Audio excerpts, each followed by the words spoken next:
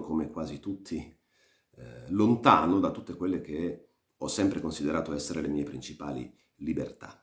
Eh, proprio per questo eh, mi piacerebbe leggervi eh, un capitolo di un libro che io amo molto, ovvero Il profeta di Khalil Gibran, questo libro, ed in particolare eh, è il capitolo che parla appunto di libertà. E un oratore chiese, parlaci della libertà. Ed il profeta rispose, alle porte della città e presso il focolare vi ho visto prostrarvi e adorare la vostra libertà.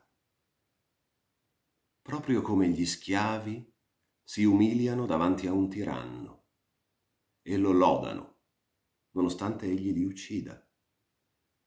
Ahimè sì, nel boschetto del Tempio e all'ombra della cittadella ho visto i più liberi fra voi indossare la libertà come gioco e manette. E dentro di me il cuore sanguinava, giacché potrete essere liberi soltanto quando persino il desiderio di cercare la libertà diventerà una bardatura e quando cesserete di parlare della libertà come di un traguardo e di un compimento. Voi sarete liberi in verità non quando i vostri giorni saranno senza affanni e le vostre notti senza un bisogno e un dolore ma piuttosto quando queste cose vi cingeranno la vita e ciò nonostante vi eleverete al di sopra di esse nudi e sciolti. E come potrete elevarvi al di sopra dei giorni e delle notti se non spezzerete le catene che voi stessi, all'alba della vostra comprensione, avete legato attorno al vostro mezzogiorno? Ciò che voi chiamate libertà è in verità la più forte di queste catene, sebbene i suoi anelli scintillino nel sole e abbaglino gli occhi. E cosa sono se non frammenti del vostro io, quelli che vorreste scartare per poter diventare liberi? Se è una legge ingiusta che vorreste abolire, quella legge è stata scritta con la vostra mano, sulla vostra fronte.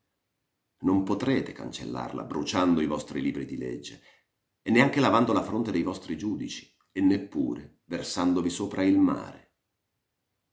E se vorreste privare un despota del trono, badate prima di distruggere il suo trono, eretto dentro di voi, poiché come può un tiranno dominare uomini liberi e fieri? se non a causa di un dispotismo nella loro stessa libertà e di una vergogna nel loro stesso orgoglio.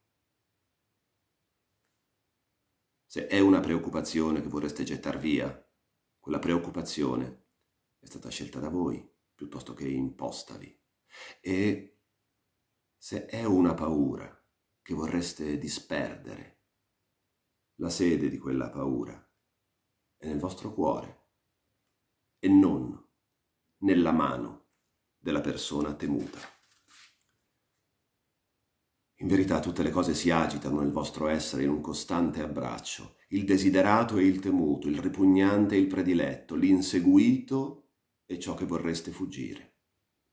Queste cose si muovono dentro di voi come luci e ombre, in coppie attaccate, e quando l'ombra si affievolisce e si dilegua, la luce che si attarda ed è lenta a scomparire, diventa ombra per un'altra luce. E così la vostra libertà, quando perde i ceppi, diventa essa stessa il ceppo di una più grande libertà.